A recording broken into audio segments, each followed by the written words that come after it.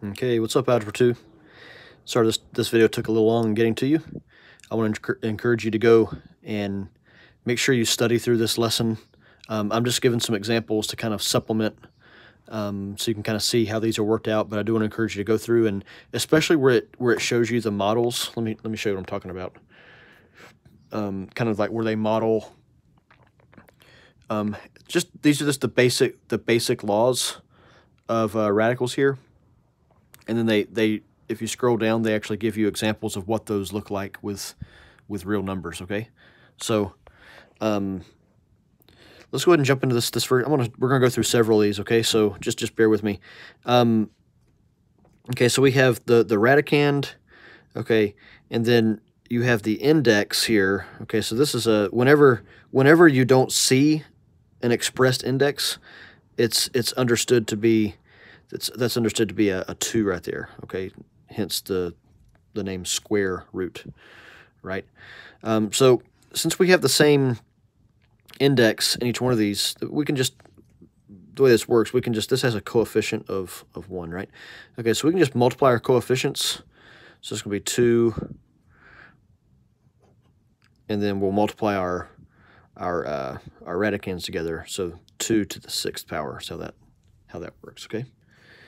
All right, so start off pretty pretty simple there. Next one's next couple here are pretty simple as well. So in in this one, they're going to have you they they want you to rewrite this um, as an exponent. Okay, so you get your radicand here as x, and x is being raised to the third power. So x is going to be our base. The power that it's being raised to is going to be the numerator. So it's going to be a fractional exponent. And then the index is the denominator. Okay, so that's x to the 3 fifths power. All right, so same same uh, same thing here. This is y. All right, so it's being raised. This y is being raised to the second power, so that's going to be the the numerator, and then this has an understood index of 2, so that's y to the 2 over 2, which is y to the first, which is just y. Okay.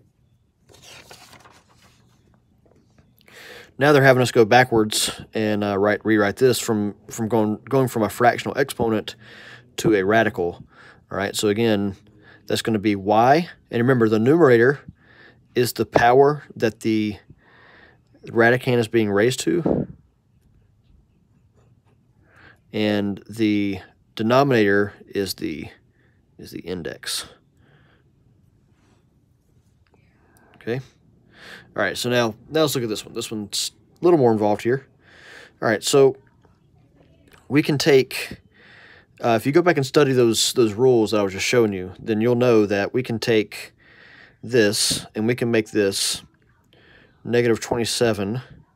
We can write this as a, as a radical expression, right?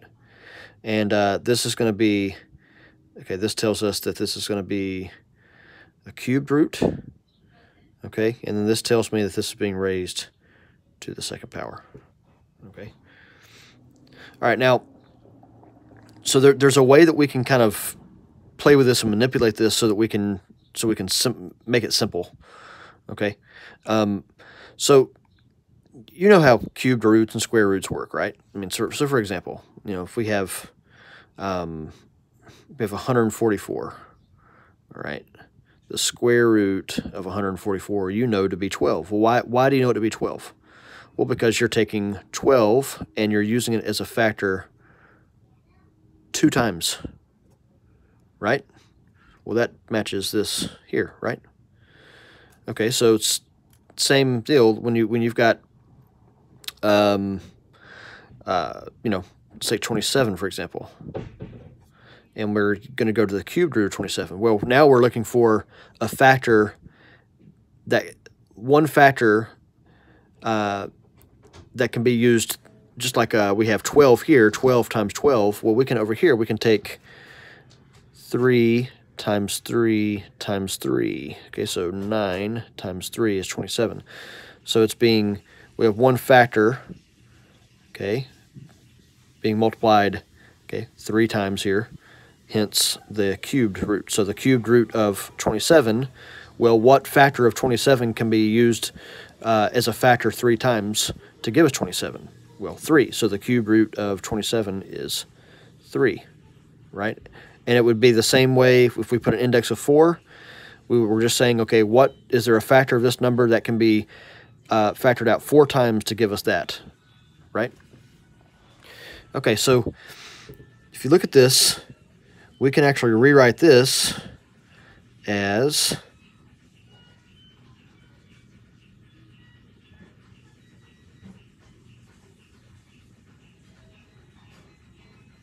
that right there. Okay. All right. So now what that does, that that allows me to work with this right here as a as a as a perfect cube. Okay. So so what do we get when we Okay, we know that the the perfect cube of negative 27 is negative 3, right? So negative 3 times negative 3 times negative 3. Well, this gives us positive 9 times negative 3 gives us negative 27. Okay, so, so this actually is a perfect cube, which is why we did this in the first place. So now we can work with this. Instead of having to worry about, you know, negative 27 squared, we can pull that squared out here and deal with this as a perfect cube. So this is negative 3. All of this right here simplifies to negative 3. And we've got negative 3 times negative 3 is 9. Okay? So that's how we that's how we deal with that one. Okay, how about this one? How about this one? So so we can just kind of study it for a second. All right, and think about how we can write this as a radical as a radical expression right? Okay, so this can be rewritten as, hang on, Evie. Hang on, guys, hang on just one second. My daughter, Evelyn Joy.